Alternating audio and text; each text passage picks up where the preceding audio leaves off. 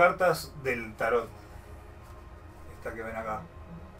Esta que tengo en mano, ¿sí? toda esta baraja, eh, particularmente perteneció a mi difunta abuela que falleció a mis 8 años. Y tengo entendido que ella esta práctica la hacía fácilmente hace 20 años atrás que yo existiera. No tengo ni idea quién le habrá enseñado, pero estas son una de las pocas eh, reliquias que tengo de familia. Así que se podrán dar idea mis gustos por lo raro, ¿sí? Lo que sí tengo idea es de que las cartas del tarot están con nosotros desde hace siglos, siendo estas utilizadas por gente con buenas y malas intenciones, adivinos, eh, clarividentes y algún que otro chanta. Estas son actualmente utilizadas como un método de adivinación del futuro, en una acción que se conoce más como cartomancia. Es así como hoy en este video verás la historia detrás de estas cartas, que sin duda es muy fascinante. Así que, sin más que decir, así comenzamos.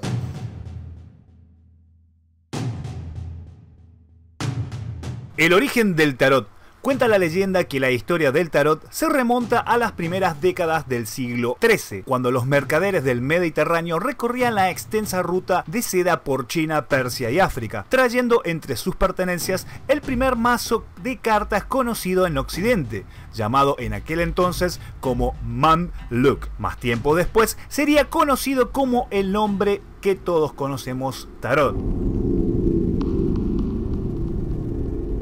El origen del tarot, y tal vez, y depende de quién lo vea, es un tanto oscuro y ya llegaré a eso. Pero si digo que tal vez se remonta como otras cartas de juego, es decir, nació solo como un juego y por otra parte no se puede excluir a la Edad Media como la cuna del tarot. Los juegos de cartas llegaron a Europa desde el mundo musulmán en el siglo XIV, pero las primeras barajas conocidas en Occidente eran similares a las actuales, con cuatro palos numerados. En los primeros años del siglo XV alguien pensó en añadir una serie de cartas simbólicas y creó la primera baraja de tarot. Ahora sí puedo decirles que el seguimiento del tarot data hasta el antiguo Egipto, Anthony Kurt de Gebelin, si lo pronuncié bien, 1725-1784, fue el primero en dar a conocer la existencia de estas cartas y fue uno de los autores con mayor éxito en ese campo. En 1773 publicó el primero de nueve extensos volúmenes titulado El mundo primitivo analizado y comparado con el mundo moderno, un faustoso relato del antiguo Egipto tal y como lo imaginaba. El octavo volumen apareció en 1781 siendo este el primer registro de lo que es el tarot. En sus páginas, Kurt afirma que el tarot es considerado en ese tiempo nada más y nada menos como una baraja pasada de moda. Era el libro que había sobrevivido de la sabiduría del Egipto y había sido conservado milagrosamente y heredado a través de los siglos. La misma palabra tarot, que no tenía ningún significado en ninguna lengua europea, se aseguró que provenía de las palabras tar, que significaba camino,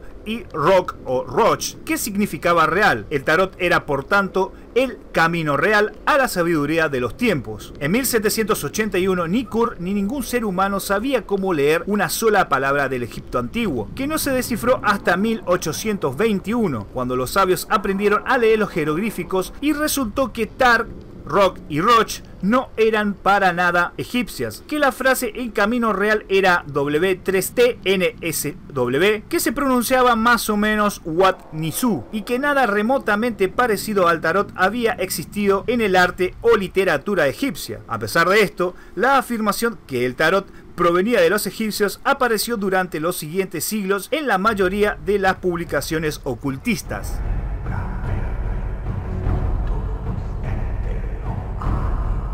Este, entre comillas, juego fue llamado Taroko o Tarochi en Italia, Rock en Alemania y Tarot en Francia, siendo este último el lugar a donde se popularizó. El primer mazo que se tiene registro que esté completo y en bellísimas condiciones data del año 1440, que el mismo se tiene registro que fue encargado por el duque de Milán donde ya aparecían figuras emblemáticas como la emperatriz, el colgado o el mago. En París, durante el siglo XVIII, proliferaron las sectas ocultistas y las logias secretas como la masonería. Así, el lenguaje fascinante de las cartas dio lugar a nuevas interpretaciones. La más popular sostenía que el origen del tarot era egipcio y que se trataba del verdadero libro sagrado del dios Tot. Florecieron analogías directas entre el tarot y la cábala, o el tarot y la astrología. Desde entonces hasta el siglo XX se produjeron algunos de los mazos esotéricos más conocidos,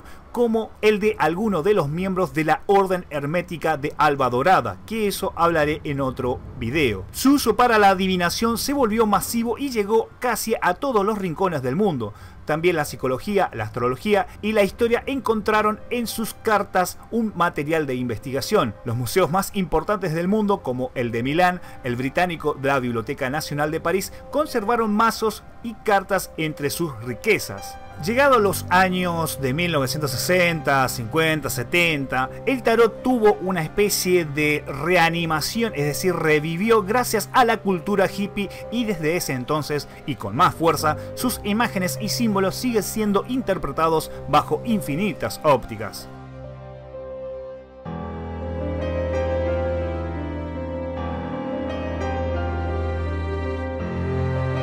Las primeras cartas del tarot fueron pintadas a mano, por lo que el número producido fue pequeño. Sin embargo, tras la invención de la imprenta, la producción en masa de naipes fue posible expandiéndose fuera de Europa después de lo que serían las guerras y en primer lugar, como ya dije, en Francia y también en Suiza. Sin entrar en mucho detalle con la composición de los naipes del tarot, se separan en dos partes, arcanos mayores y arcanos menores. En la actualidad, las cartas del tarot se utilizan para la adivinación, ya que esto genera mucha confianza a quienes piden su servicio como también a través de los medios tanto en específicos físicos como a través de internet, porque si no sabías, también existe las páginas de adivinación por medio del tarot online, lo cual a mí me genera una gran duda de desconfianza sobre todo. En cuanto a las, entre comillas, tiradas, hay tantas maneras de tirar las cartas como personas que las tiran. Sin embargo, hay ciertas formas comunes entre muchas otras, pasado, presente, futuro, de pies o cabeza, retrato o aliado, sí o no, son algunas de las formas en las cuales a algunas personas, y depende de quién, es como la tiran o abarajan, si también te gusta ese término. Solo te nombraré tres cartas para tener más o menos una idea de lo que va. El diablo, por ejemplo, significa tentación, deseo, creatividad, sexualidad, fantasía, cuestiones de dinero. La luna, sueño, noche, secreto, intuición, feminidad, amor, imaginación. El sol, nueva etapa, éxito, amor solidario, infancia. Y vamos de vuelta, cómo uno lo tire y cómo lo interpreta esa persona y se expresa y entiende de lo que se le presenta enfrente es lo que te va a decir o no. Un dato a tener en cuenta. Otro dato a tener en cuenta es también el cómo se siente esa persona que te lo tira, el día, la luna, el sol, muchas cosas dependen y hay veces que no siempre es fiable la información que te brindan ese tipo de predicciones. Aclaro, esto último que te acabo de decir es una opinión propia. Vos deberías buscar a alguien experto o que diga que es experto en el tema y te sientes a comprobarlo vos mismo o vos misma.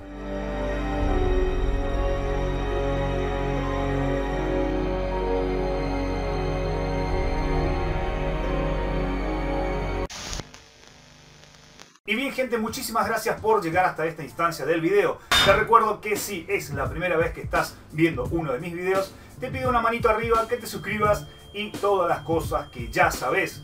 El canal es muy random, por lo que mayormente podés encontrar cosas relacionadas con el terror y los misterios. Pero eso no quita que hago algún que otro video fuera de esa línea. Si te gusta el rock, andate a mi otro canal que se llama Territorio Rock, que seguramente algún que otro video también te puede gustar. Como así visitar territoriorock.com, que te lo estoy dejando acá abajo. Mi nombre es Gustavo Alegre, estás en el canal del Justy y nos veremos en siguientes videos. Bye.